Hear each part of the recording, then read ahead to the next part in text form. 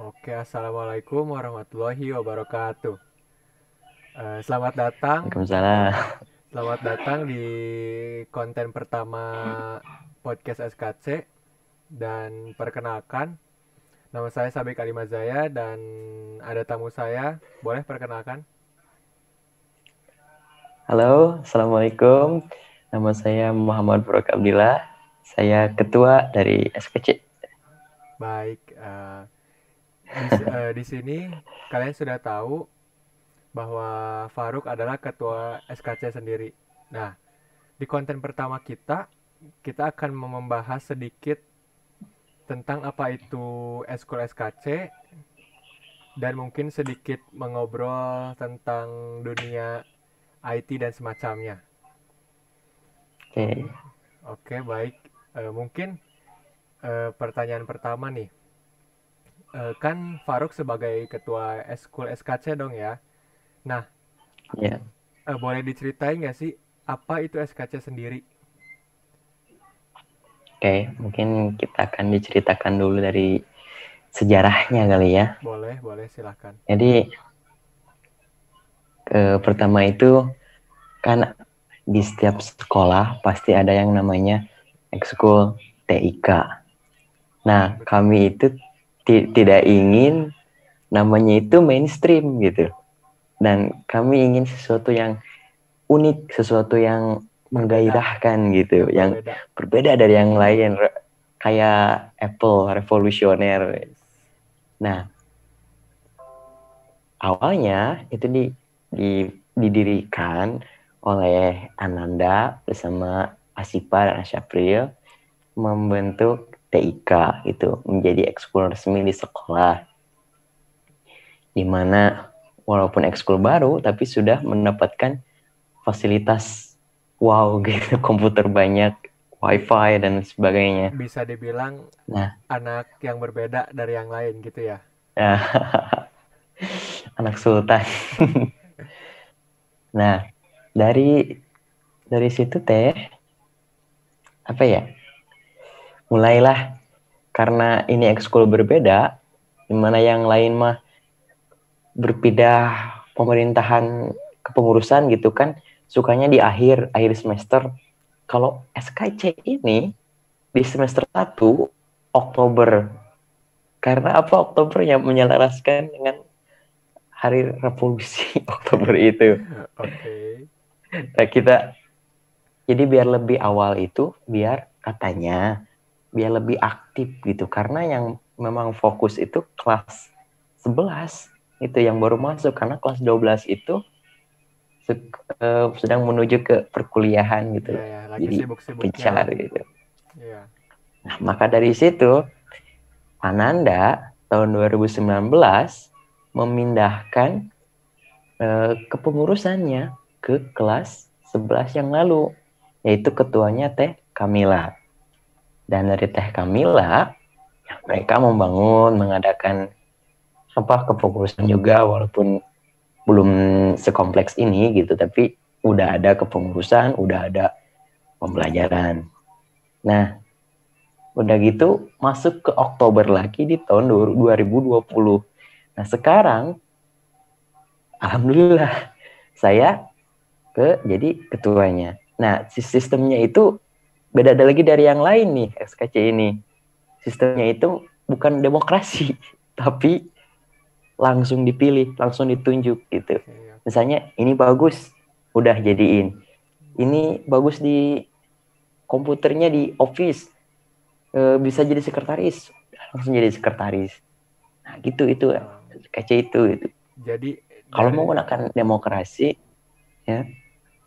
Jadi dari atasnya juga dari awalnya juga udah berbeda nih dari esku yang lain dari kepengurusan dari alur ceritanya gitu pokoknya udah berbeda gitu ya. ya udah udah berbeda intinya Pak. Oke. Nah udah sekarang teh lagi di pemerintahan saya gitu. Nah di pemerintahan saya ingin beda lagi dari tujuannya yaitu ingin lebih mengenal teknologi, ingin lebih ngulik lagi. Karena sebetulnya di luar negeri sana, jangankan luar negeri ya, kota Jakarta aja. Di kota Jakarta, anak-anaknya itu sudah mahir Windows, sudah Iya. malahan bisa ngehack gitu. Iya. Udah gak perlu diajarin lagi gitu yang gitu-gitu. Nah di kita mungkin masih kurang. Nah kekurangan itulah kita harus membangunnya lewat SKC ini. Jadi intinya mah SKC ini berbeda dari yang lain dan penting karena bergeraknya di teknologi. Gitu. Keren ya sejarahnya tuh dari petinggi gitu kan, dari dari awal udah beda gitu ya. Keren sih, keren. Mungkin mungkin kami itu terins- terlalu terinspirasi oleh revolusi. Ingin berbeda dari yang lain. Bagus, bagus. Nah, tadi eh, teman-teman udah dengar sendiri apa itu SKC gitu ya. Nah, sekarang kan lagi masa pandemi nih ya. Eh, nah, bagaimana? Terus kan tadi juga udah disebutin bahwa SKC udah mulai dari awal gitu kan aktivitasnya. Iya. Nah, jadi bagaimana caranya si SKC itu berjalan atau bergerak di dalam masa pandemi seperti ini? Nah, itu mungkin alhamdulillah suatu suatu kelebihan ekskul ini, ekskul SKC ini teknologi.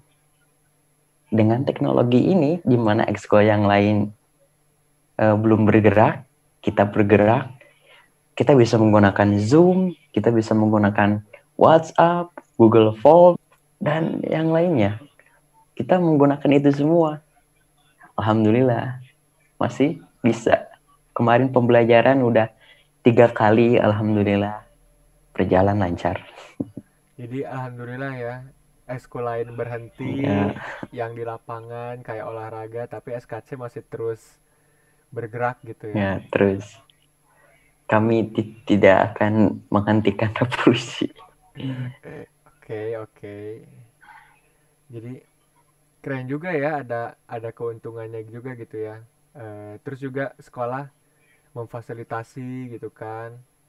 Anak-anaknya Iya. pengen maju gitu kan.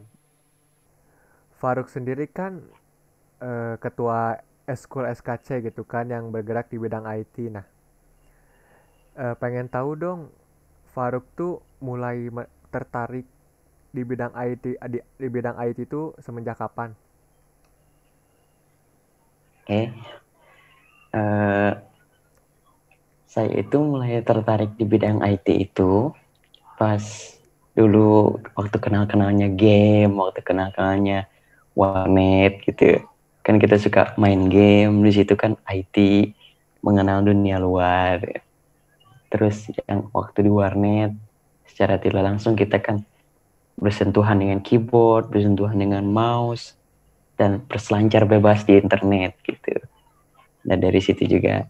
Tapi yang awalnya mah saya dulu dikasih laptop tahun 2011 itu yang awalnya mah.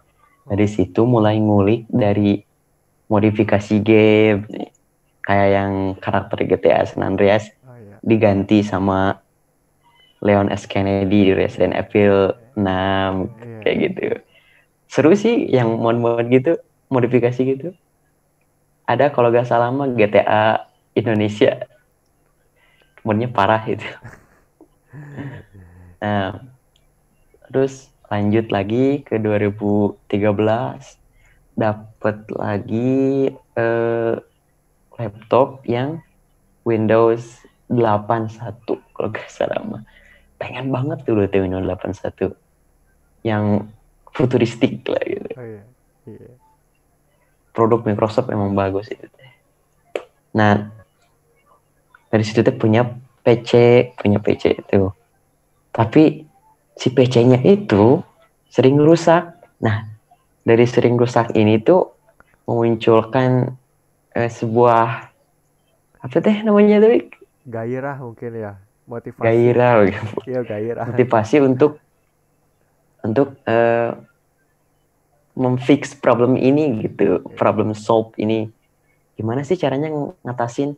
Kenapa suka rusak terus PC teh suka error Windowsnya dari situ juga belajar lagi shutdown itu apa control panel apa sampai ke mengenal install ulang Windows nah, maju lagi nah, sekarang yang sekarang saya pakai ini ini.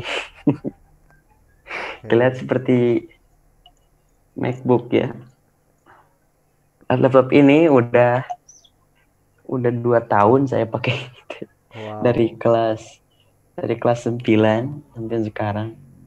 Ini Windows 10 dan ya, begitu enaknya.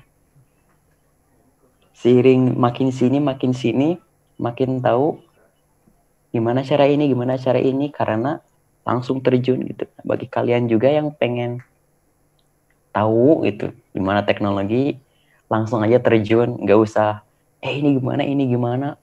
Liatin liatin. Nggak usah langsung aja terjun gitu. Iya.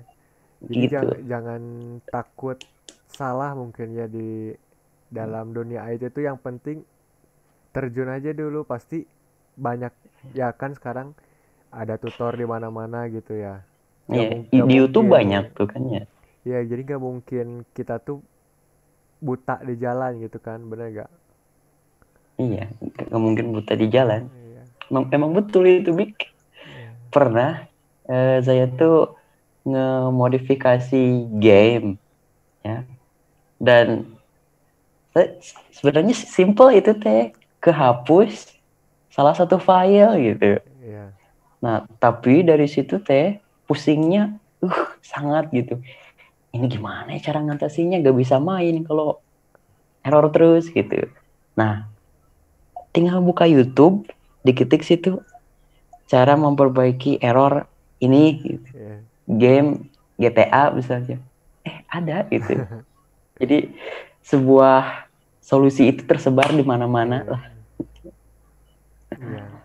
ya enak ya. Nah makanya buat teman-teman yang lihat podcast ini jangan takut mencoba karena apa-apa tuh semua udah ada tutorialnya cara menyelesaikan masalahnya ya mau di Google mau di YouTube gitu.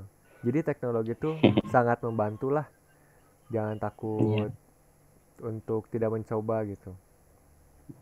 Sangat sangat membantu memang benar. Dulu waktu teknologi belum ada teknologi ini ya. Ngirim pesan itu kan pakai burung pakai ya. manusia. Butuh waktu misalnya dari dari Ciranjang ke Bandung dari Cianjur ke Bandung. Butuh waktu sekitar satu hari jalan kaki gitu. Yeah. atau dari pagi sampai sore pakai pakai burung gitu lama. Tapi dengan adanya teknologi kita pakai WhatsApp gitu ya ngirim pesan sebanyak apa pun pas diklik kirim pasti cukup butuh waktu 0, enggak satu detik tapi 0,1 0,3 detik begitu cepatnya gitu. Yeah kita bisa menghemat waktu iya emang teknologi ada ada yang di, ada ada positifnya tapi tentu juga ada negatifnya dong ya setiap hal itu ada nah. negatifnya nah iya. Hal hal negatif apa yang pernah dilakukan nih?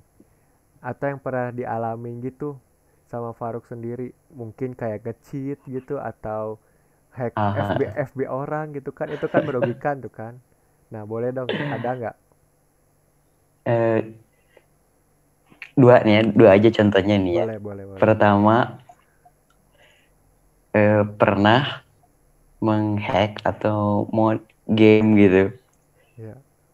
kan harusnya itu teh misalnya COC lah Clash of Clans okay. pada tahu kan COC ya, ya. untuk bangun untuk bangun TH town hall. Iya, iya. Dari misalnya TH 4 sampai eh TH 3 sampai TH 4 butuh waktu dua hari kalau nggak salah, Pak. Iya. Dan dari situ teh di cheat aja gitu, cuma pas diklik langsung jadi gitu. Nah, iya. tapi dari situ teh tahu salah, oh ya udah, ya udah kita bermain sehat aja. Nah terus yang kedua teh soal menghack FB nih ya, hack FB. Wah, seru-seru. Nah, dulu dulu mah hack FB itu gampang banget asli. Bukan ngehack sih misalnya gini, ada teman saya kan Rup, ah si Parup mah suka suka anak komputer gitu, suka main komputer, main internet. Si Parup gue lupa password Facebook mah gitu. Nah, dulu teh gampang gitu tinggal tahu nggak terakhir eh, nomor telepon atau emailnya, nama passwordnya? Oh tahu ini pas diklik, tinggal diklik lupa password gitu. Iya. Acak-acak-acak ini ketik ketik ketik ketik enter eh udah bisa lagi diubah gitu masuk lagi ke akunnya dulu mah semudah itu tapi orang-orang juga belum tahu cara itu nah, ke sini terakhir tahun lalu kalau nggak salah mah Bik, pas asipa Oh, asipa waktu iya. demonstrasi itu gimana tuh Kurang tahu juga ya itu katanya kan diulik lama gitu ya. Wah, kurang tahu sih itu terlalu nggak tahu pakai cara apa. kalau asipa itu kan makin sini makin keamanannya tingkat tinggi. Nah asipa juga pakai cara yang tingkat tinggi. Yaitu pakai eh, pakai apa ya, command prompt pakai Oh, iya. baris kode. Oh itu mah harus tab A tab C. Kolor 2 kolor 3 Terlalu itu sulit. sangat membingungkan. Pakai CMD kalau nggak salah. Terus pakai servernya juga masuk. Sekarang mah gitu. Kalau pengen hack API Dulu mah terlalu mudah ya, sekarang terlalu sulit. intinya mah semua semua pernah melakukan kesalahan dan ya so- solusinya ya itu buat menebus kesalahan itu melakukan yang lebih baik gitu. jangan diulang lagi yang itu Iya, betul betul betul. Ya, mungkin mungkin juga ini eh, menit-menit terakhir podcast ini berakhir mungkin ya. Nah, eh, untuk mengakhiri podcast ini, boleh dong ada kasih kata-kata motivasi gitu atau kalimat eh, brilian untuk masa pandemi sekarang atau apalah itu dari seorang Faruk. ada kan eh, gini. Sebetulnya kesuksesan terus keberhasilan itu bukan dari tangan kita. Memang dari tangan kita tapi sebetulnya yang memberikan kesuksesan keberhasilan itu ya Allah gitu. Allah subhanahu wa taala. Tuhan yang yang mengizinkan kita untuk sukses gitu. Kita mah cuma mengantarkan diri kita sendiri gitu ke arah kesuksesan itu. Makanya kita fokus aja gitu. Terus patuhin perintahnya. Kalau misalnya berbuat baik, ya berbuat baik gitu. Dalam Islam, sholat lima waktu, ya udah jalanin itu yang wajibnya gitu. Udah itu aja. Dan selebihnya kita bebas kan, gitu. mau ngapain juga. gitu. Iya. Sekarang bebas pandemi nih. Kita punya banyak waktu untuk ya pasti semuanya juga rebahan sekarang mah dari pagi sampai sore sampai malam lagi. Nah, dari rebahannya itu ayolah kita belajar eh, kalau misalnya pengen bisa dokumen, ngeprint ini belajar Office Terus kita pengen bikin aplikasi nih, belajar pemrograman Java, terus belajar Android Studio gitu. Android development atau pengen pengen buat iPhone, boleh buat iPhone juga bikin. Pengen jadi YouTuber, belajar ngedit gitu. Banyak pokoknya yang belajar komputer banyak. Tinggal kita mencari gurunya. Nah, sekarang susah mencari guru. Bukan masalah. Sekarang ada yang namanya Google, ada yang namanya YouTube. Di dua ini sudah terpenuhi Google dan YouTube. Kalau kita pengen tutorial ini tinggal ke Google, sudah ada gitu, berbasis teks. Kalau pengen yang video yang ditunjukin langsung ada YouTube. Tinggal kita cari langsung muncul. Nah, pas kita mempelajari di sini misalnya teh stuck nih kita tengah stuck gitu. Ini gimana ya? Ada yang ada tempat untuk bertanya gak? Nah, buat apa sosial media kalau nggak ada lahan untuk bertanya ini? Di Facebook ada yang namanya grup. Di Telegram juga ada yang namanya channel sama grup, WA itu juga. Nah, ada yang namanya Reddit, ada yang namanya Quora. Nah, itu teh pakai. Kadang saya juga pas kemarin membuat aplikasi itu lihat tutorialnya di sini dan ngestak gitu. Tinggal nanyain aja ke Telegram saya tuh. Siapa aja we yang ngejawabnya mau malahan saya dapet yang ngejawab teh orang Irak. Orang Irak namanya apa? Amir kalau nggak salah mah.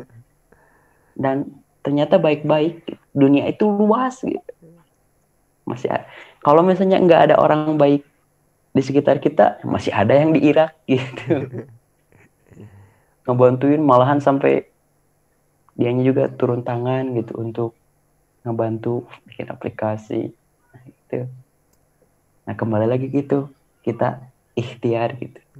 Kita mendap ingin mendapatkan izin Allah untuk kesuksesan itu. Kita kita dapatkan, kita raih. Mantap, keren, keren, keren. Oh, nanti mah gini Bik, mungkin adain Q&A. Bisa, bisa nanti kita Bisa. post di Instagram gitu ya. Nanti ada yang mau bertanya masalah apa gitu nanti kita jawab gitu ya. Iya. Terus kalau ada yang mau gitu narasumber lain gitu misalnya Request. dari ekskul lain atau dari itu boleh diundang ke sini ke podcast ini Siap. mengisi santai. Iya. Oke. Iya. Sekarang penutupan dulu ke berarti ya. Jadi baik eh, terima kasih untuk saudara Faruk yang telah menyempatkan hadir di podcast sederhana SKC ini. Eh, semoga sehat-sehat, semoga Amin. eh, segera masuk offline gitu kan. Kita butuh offline gitu kan. Dan Bosan. ya itu bosen nah sampai ketemu di offline dan buat teman-teman yang nonton juga eh, tetap jaga jarak tetap pakai masker ke mana-mana Eh, pokoknya sehat-sehat sampai ketemu di sekolah offline dengan keadaan sehat dan terima kasih Semoga, semoga sekolah dibuka. amin amin itu doa yang paling nomor satu Iya. Baik, eh, terima kasih yang udah nonton podcast sederhana ini. Jangan lupa untuk like, comment, share, and subscribe channel SKC. SKC. Eh, nanti kita juga pasti bakal ngundang narasumber dari gak dari SKC aja gitu, dari Iya. guru-guru lain. Ya, ini mah ini mah untuk pemanasan gitu ya orang-orang juga dari SKC sendiri. Iya, nah saya sebe- saya Sawi Kaimazaya eh undur diri. Wassalamualaikum warahmatullahi wabarakatuh.